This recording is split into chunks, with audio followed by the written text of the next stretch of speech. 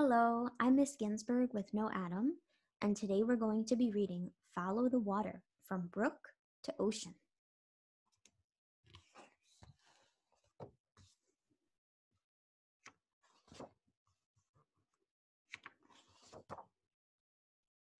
After the next big rainstorm, put your boots on and go outside. Look at the water dripping from your roof. Watch it gush out of the drain pipes you can see water flowing down your street too.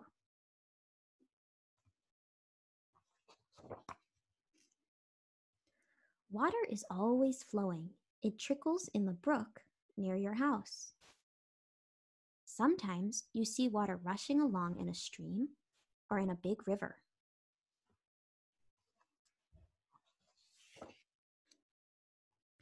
Water always flows downhill. It flows from high places to low places, just the way you and your skateboard move down a hill.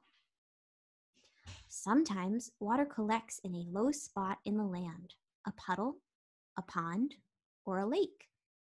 The water's downhill journey may end there. Most of the time, though, the water will find a way to keep flowing downhill.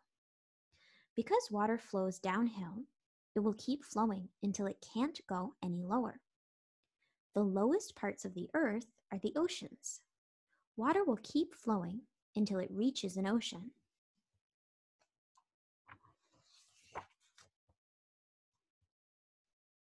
Where does the water start?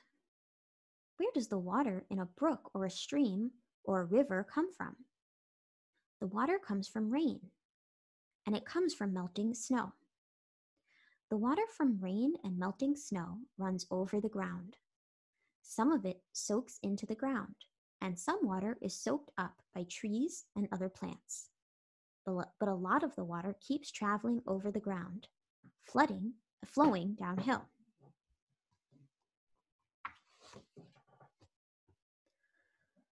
The water runs along, flowing over the ground.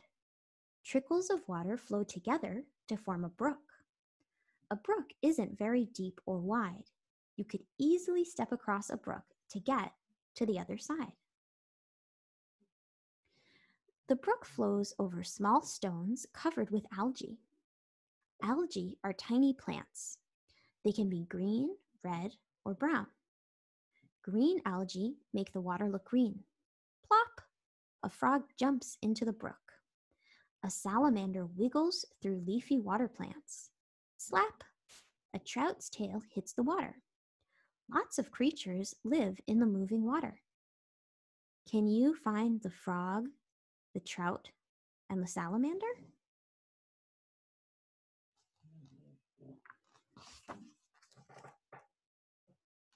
The brook flows into a stream. Water from many brooks feeds the stream. Some streams are fed by water from springs.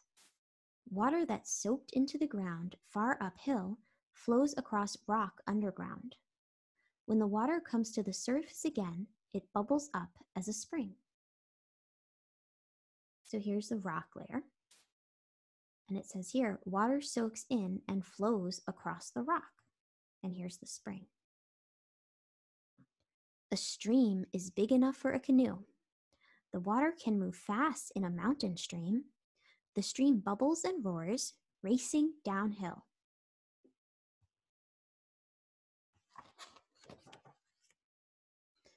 Clunk, thunk. You can hear rocks tumbling underwater. The fast moving water is powerful. It carries along ground up rock and soil. Big, heavy rocks get swept along too.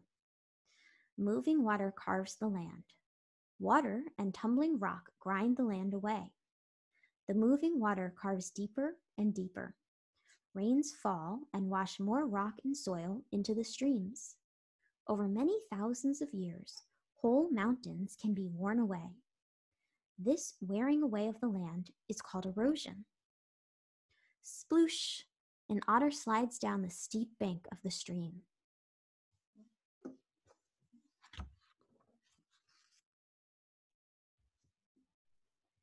The stream flows into a river.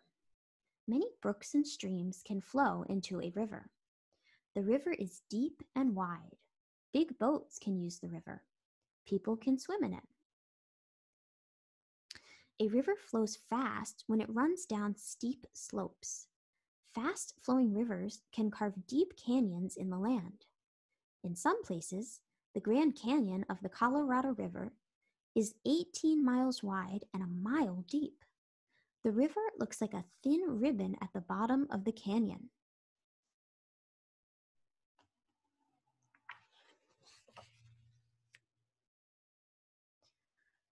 When a river comes to a rocky cliff, the water falls over the edge. It's a waterfall. Some waterfalls drop hundreds of feet. The water sprays up when it hits the ground below.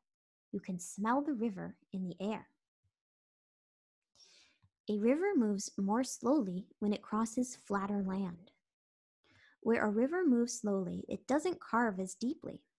It loops back and forth across the land as it finds the easiest way downhill.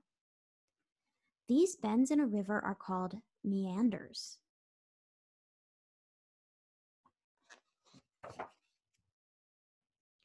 Some rivers look muddy because of all the soil that has been washed into them. Water from rain and melting snow carries soil from the surrounding land into the river. Valleys are formed over many thousands of years as more and more soil is washed down into the river. There is so much soil in the Missouri River that it is called the Big Muddy.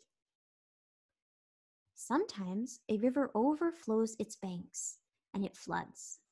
Heavy rains might cause a river to flood. A flood can destroy people's homes and wash away a lot of soil.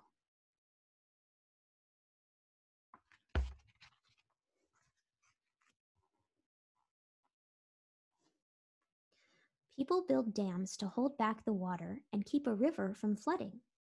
A dam controls the flow of the water. Some water can be released through the dam so that the river below does not dry up. The force of the water as it rushes through the dam is used to make electricity. A lake called a reservoir builds up behind the dam. The water in the reservoir is used to water crops. People swim and sail boats in the reservoir, and they drink and bathe in water that is piped from the reservoir. Many big cities get their water from reservoirs.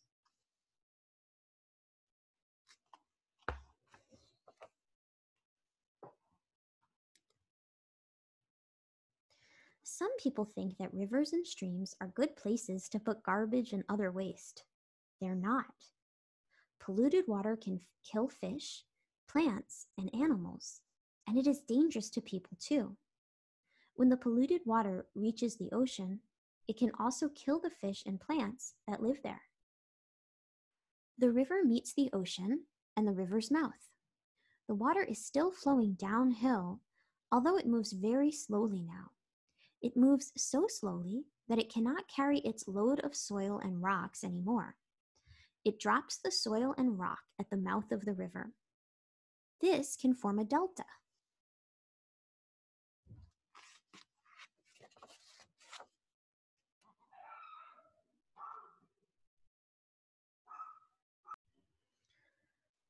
Water may travel over land for thousands of miles before it finally reaches the ocean. The oceans hold most of the Earth's water and cover almost three quarters of the whole Earth. Many different kinds of fish and animals and plants live in the ocean. Tiny creatures called plankton live in the ocean. They are too small to see without a microscope. Gigantic whales live there too. The ocean is so big and so deep that it has hardly been explored.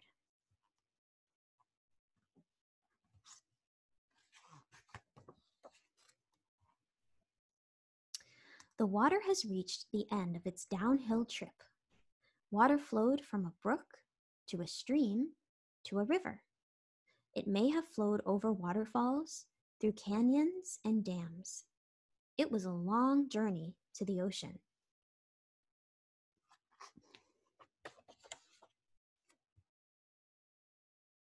The next time you see water in a brook, a stream, or a river, you will know where it is going.